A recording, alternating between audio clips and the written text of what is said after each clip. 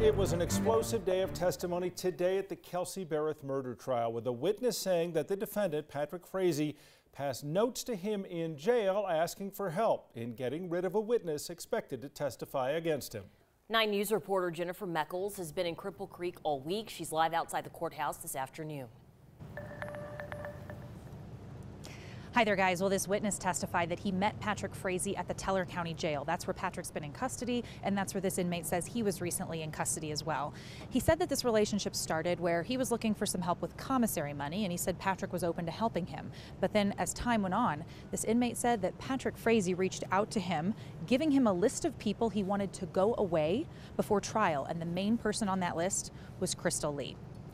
Patrick Frazee is accused of killing Kelsey Berreth, his one time fiancee and the mother of his child, on Thanksgiving Day last year in Woodland Park, that's in Teller County.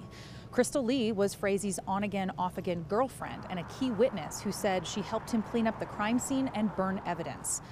The inmate witness that we heard from today said he met Patrick Frazee in jail just a few months ago, and when Frazee learned about this inmate's gang affiliations, he asked for help killing off witnesses.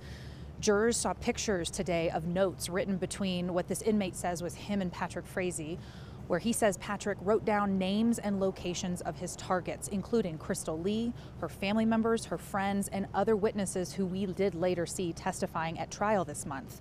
Now, Patrick Frazee has pleaded not guilty to the charges against him. This afternoon, the judge and the attorneys on both sides of this have been going through jury instructions, but we won't hear the closing arguments in this case until Monday, and then deliberations will begin after that. Guys? Well, quite a day, and uh, certainly much more to come as we will uh, turn Yeah. the page come Monday. Jennifer, thanks as always. We'll talk to you more about this coming up at 5 o'clock.